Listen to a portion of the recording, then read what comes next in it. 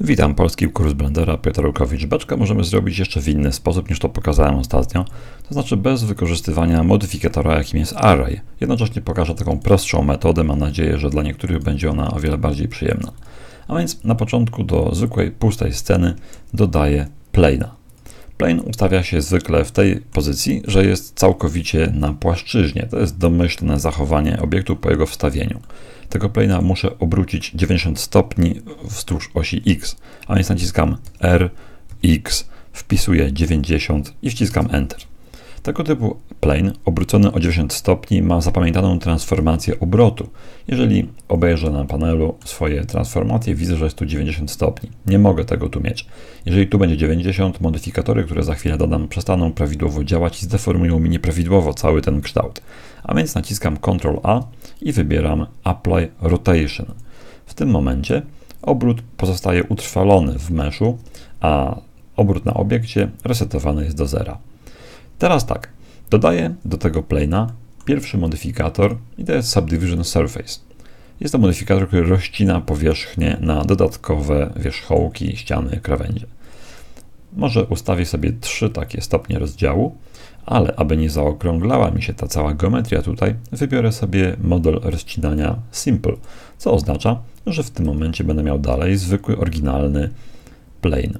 I teraz ten plane trzeba zaokrąglić. Trzeba go zwinąć w rurkę. Można to zrobić za pomocą modyfikatora o ładnej nazwie krzywa, ale aby on działał, muszę dodać do sceny krzywą, tak jak teraz. Dodałem krzywą z menu krzywę. I teraz do tego obiektu powinienem znaczy ten obiekt zostawiam bez żadnych zmian, natomiast do obiektu, jakim jest plane, dodaję kolejny modyfikator, który nazywa się krzywa.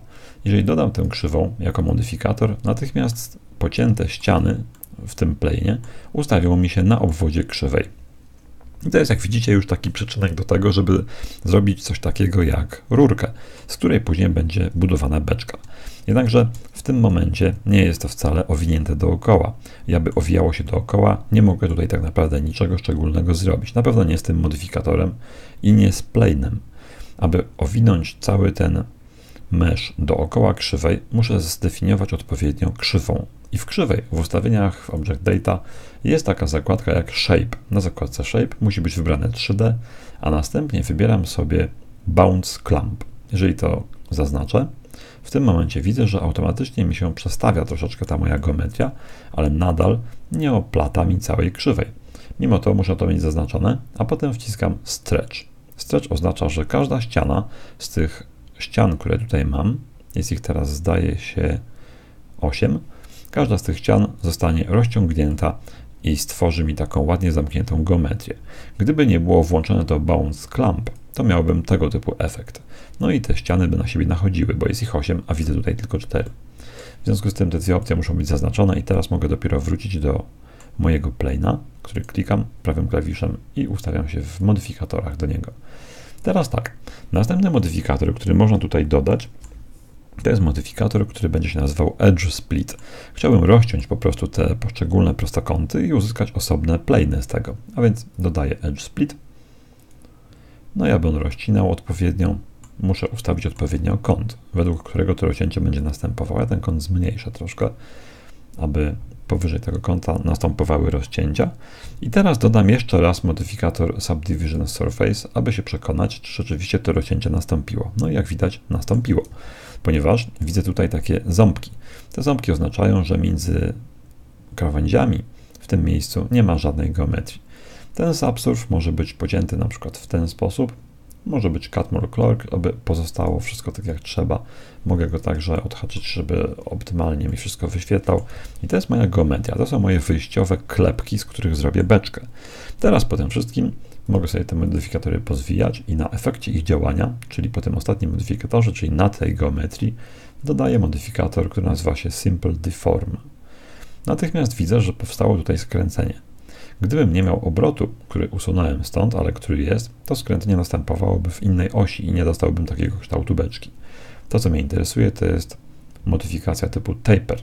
Dodaję teraz kopię tego modyfikatora, wciskając na guzik copy i w modyfikatorze skopiowanym ustawiam stretch.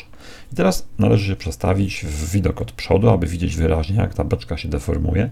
Teraz parametr taper ustawiam w ten sposób i stretch, aby uzyskać beczkowaty kształt. Myślę, że to będzie coś w okolicy minus 0,5 tutaj, sądząc po tym, jak suwak reaguje. Ustawmy sobie kropka, może tak, minus kropka 0,5, o tak. A tu jest około 25 tysięcznych i to jest ok. Teraz tak, te dwa modyfikatory mogę już teraz sobie pozostawić sobie, samym sobie, zwinąć je. Jeżeli spojrzę na tą beczkę z góry, powinienem widzieć w miarę regularną geometrię. Widać także ten pierścień z krzywej, który dodałem poprzednio. To jest moja beczka. Oczywiście ona jest teraz bardzo płaska i przypomina bardziej jakąś, nie wiem, jakiś mały wazonik na świeczkę do herbaty, więc mogę teraz w widoku od przodu nacisnąć S, później Z i delikatnie rozciągnąć tą beczkę mniej więcej na wysokość dwóch jej wysokości a więc skala na z będzie ustawiona na 2. I to jest coś, co przypomina beczkę, dlatego teraz mógłbym dodać do niej jeszcze grubość ścianek. Robię to za pomocą modyfikatora Solidify. Solidify, który jest ustawiony na minus 1, zwiększam thickness i jak widzicie te ściany robią się coraz grubsze, mogę mieć naprawdę grubą beczkę. Oczywiście ściany powinny być ustawione w taki sposób, aby być może były zespolone ze sobą na zewnątrz i tym można sterować za pomocą parametru offset. Jeżeli wybiorę offset, to ściany będą rosły tak naprawdę do środka, a nie na zewnątrz. Ok? Teraz rosną na zewnątrz. Mogę budować dzięki temu jakieś fajne urządzenia w stylu science fiction, jakieś bunkry i tego typu rzeczy. Offset mogę też ustawić na wartość 0, czyli tak pomiędzy, co będzie powodowało, że na mojej beczce pojawią się jakieś takie szczeliny pomiędzy klapkami, ale w środku wszystko będzie ładnie zamknięte. Oczywiście być może tu wystąpi jakieś niewielkie przenikanie się geometrii, ale może na to machnąć ręką na razie. Tak czy inaczej, tak wygląda nasza beczka. Teraz, aby poprawić jej kształt, możemy dodać jeszcze modyfikator bevel. Bevel będzie miał za zadanie ściąć trochę te krawędzie, które mamy tu na górze. A więc dodaję modyfikator bevel i od razu widzę ścięcie krawędzi. Niestety to ścięcie krawędzi wykonywane jest jakoś dziwnie i jest to prawdopodobnie jakiś błąd, ponieważ widać tutaj w niektórych miejscach niezbyt dobrze zorganizowane powierzchnie. One się jakoś nakładają, przenikają przez siebie i generalnie rzecz biorąc niezbyt dobrze to wygląda. Dlatego możemy spróbować zwiększyć liczbę wcięć, czy też rozcięć, ale to nie poprawia sytuacji. W związku z tym zostawię taką, jaka jest, a zamiast tego dodam jeszcze jeden modyfikator Subdivision Surface.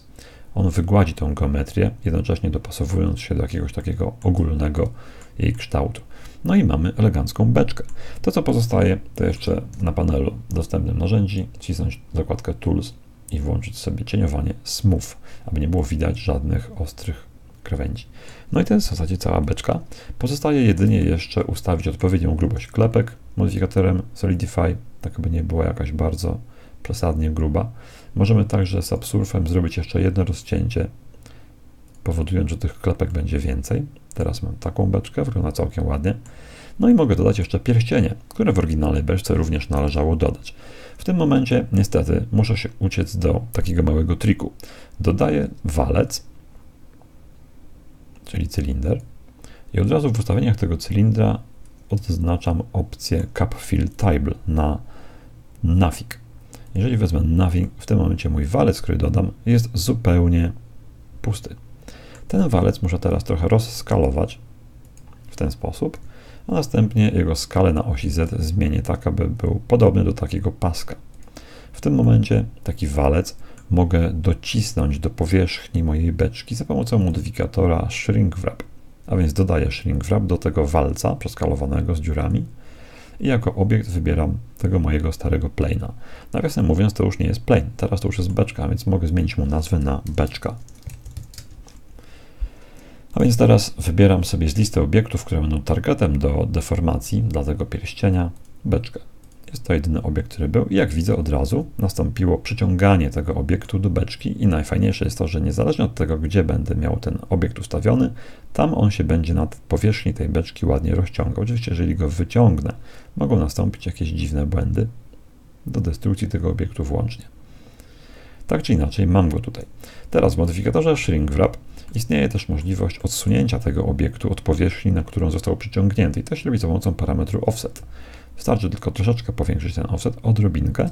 I teraz, aby ten pierścień był troszeczkę szerszy, żeby miał swoją własną grubość, dodam do niego modyfikator Solidify. Nie inaczej. modyfikatorem Solidify mogę zwiększać grubość do środka, chyba że offset ustawię na 1. Wtedy grubość Solidify zwiększam na zewnątrz. Wystarczy ustawić taki cienki pasek, który ma udawać pasek z blachy. Aby ten pasek był jeszcze bardziej okrągły, mogę dodać do niego modyfikator Subsurf, na przykład na 1 stopień i to już doskonale go tutaj ładnie wyokrągla. Podobnie jak wtedy zaznaczę Smooth, jest elegancki pas z blachy. Ten pasek należałoby teraz skopiować kilka razy do góry, na przykład przez Shift D. Mogę teraz go do góry podnieść na osi Z, ustawić go tu, no i gdziekolwiek go nie ustawię, on się będzie elegancko do tej beczki dopasowywał. A więc jest to dosyć prosta rzecz do zrobienia. Myślę, że każdy da radę. Te paski powinny być w zasadzie węższe, ale nawet jeżeli nie chciałbym ich kopiować, to i tak jest sposób, żeby tą kopię wymusić automatycznie. Wystarczy tylko, że dodam tutaj modyfikator array. A więc modyfikator array to kolejny, który dodaję do paska. To już jest czwarty. Teraz modyfikator array odbił mi ten pasek, czy też skopiował od razu na bok. Kopiuję go na bok dlatego, że istnieje tutaj coś jak względny offset, który określa położenie względem szerokości obiektu na osi x. W tym momencie potrzebuję osi z, więc na x ustawiam 0, a na z ustawiam 1. To powoduje, że pojawił mi się tutaj drugi taki pasek. Drugi pasek w formie jego doskonałej kopii. Teraz zwiększając offset na z mogę ten pasek umieścić wyżej troszkę, a zwiększając count mogę zmienić ilość tych pasków. No i teraz widać, że te paski są w środku beczki, więc nie zupełnie o to chodziło.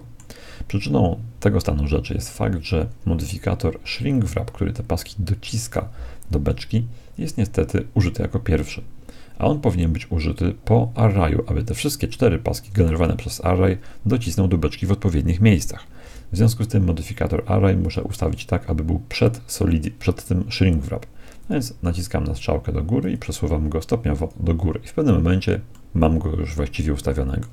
No i to w zasadzie cała beczka gotowa. Mogę teraz jeszcze skalując na osi Z poprawić lekko wygląd, ustawiając sobie wysokość tych pasków, ich rozpiętność. No i to jest po prostu gotowa beczka. Oczywiście bez klepki tej górnej, bez tego dekielka, który ją zwykle zakrywa. Ok, kształt beczki możemy w każdej chwili poprawić. Jeżeli klikniemy na przykład na modyfikator shrink simple deform, przepraszam, i to może być akurat ten. Jeżeli będę zmieniał kształt beczki, to ona może być mniej lub bardziej okrągła. Myślę, że tak można byłoby ją zmienić. I drugi modyfikator simple deform, troszeczkę bardziej ją można zaokrąglać w ten sposób, lub też zrobić, żeby była bardziej pionowa. I to jest właśnie praca modyfikatorów, która nie wymaga w zasadzie modelowania w trybie edycji. Jest to trochę prostszy sposób, ponieważ do zrobienia kopii tych klapek nie używaliśmy w ogóle modyfikatora array, tak jak w pierwszym poradniku, który na ten temat zrobiłem. Mam nadzieję, że ta wersja jest prostsza i wyda się bardziej oczywista stałym blenderowcom, a więc polecam robienie beczek właśnie w ten sposób. Ok, dziękuję za uwagę, do zobaczenia.